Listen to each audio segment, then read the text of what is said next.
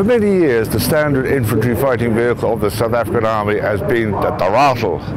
That's deployed in a number of versions, including 20mm, 90mm and missile. That will soon start to be replaced by this new vehicle. This is the Badger.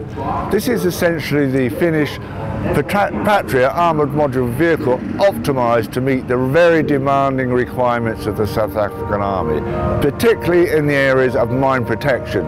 So, what is a Badger? It's an infantry fighting vehicle and there'll be a number of versions. The basic vehicle will have a 30mm cannon and a 7.62mm machine gun. Another version will have a 60mm mortar for providing indirect fire. There also will be a command post and one of the more interesting ones, which is not at the show this time, is one with two anti-tank guided missiles either side.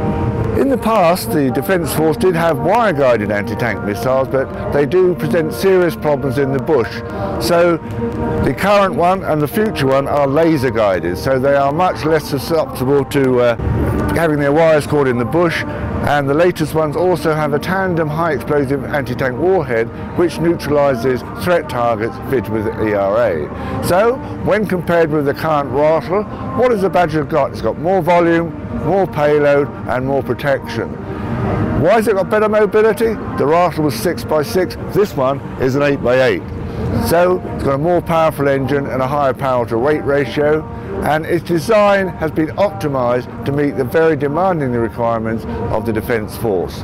The first 16 vehicles came from the Finnish production line. They've come to uh, South Africa to be fitted out, but after that the hulls will be developed and produced in South Africa They'll be integrated into South Africa. And an unusual so the turret, that turret has already been sold overseas in a different version. The Malaysians are having over 200 Turkish vehicles and many of those will be fitted with turrets designed, developed and manufactured in South Africa. So in some respects, the Malaysians had their turrets ahead of the Defence Force. So Badger starts replacing the Ratel, more volume, more protection, more firepower.